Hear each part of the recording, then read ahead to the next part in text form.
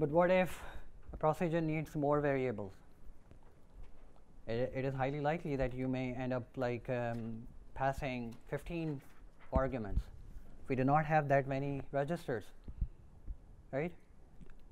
So how do we process more arguments or variables? Any idea?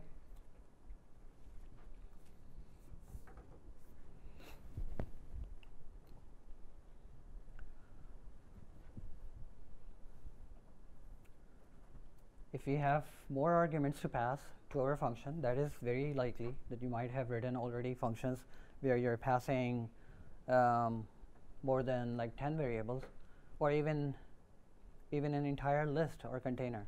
Yes? Uh, what you can try to do is maybe have one of the argument variables be an address to more arguments. Address to more arguments and what that address pointing to? I know this. Of course, you know. Yeah. Yeah, that's great. So we can spill the register contents into memory, first of all. Um, um, this one thing that we can either uh, pass more arguments to the function or there's another scenario. So for example, if you are not passing any function at all, uh, any argument into a function at all, but what if your function logic is using more registers? Let's say if it has, uh, it is using 10 variables.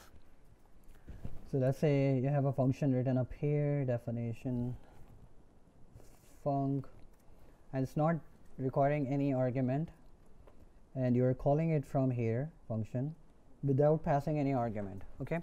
But here you have x equal 1, y equals 2, and let's say z equals a list or something, and um, let's say a equals whatever.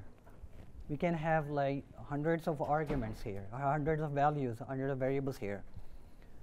So where are these variables going to store? In registers or in memory? Suppose that I have uh, another variable, let's say up here, x equal 100. So remember uh, when we were discussing in Python, the scope of a variable. So is this um, z visible to the rest of the program? No. Why? Because it is a part of the function only. But we have studied that whatever variable we use, it is assigned to a register initially. Let's say it is assigned to, um, let's say it is assigned to x um, 21. Okay? And suppose this program, this value is also assigned to x21. So how do you think it is going to uh, execute the program? When the program, when Python starts compiling your code or RISC-V processor is compiling uh, your code, x variable is already assigned to x21. And now when we are calling the function, z is also, because we do not have enough variable, so it has to be assigned to some register. Let's say it is assigning it to x21. So what will happen to the original value? What do you think? How, how can you solve this problem?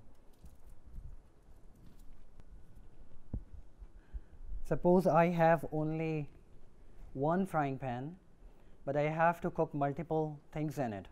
Okay, so it already contains something. Okay, but I have to cook something else in it. How can you solve this problem? Hmm? It's a very, very, very basic thing, yes. Yeah, this is the first thing. and then- We have already cooked the first thing, assuming that. yeah, So you dump out the stuff. and Jump out in our stomach or where? other bowl. Other bowl, Yeah. yeah. And then we can pour in some other content. So assume that this is a register only, okay? So if we have to utilize this space, we have to spill it into somewhere in another bowl, okay?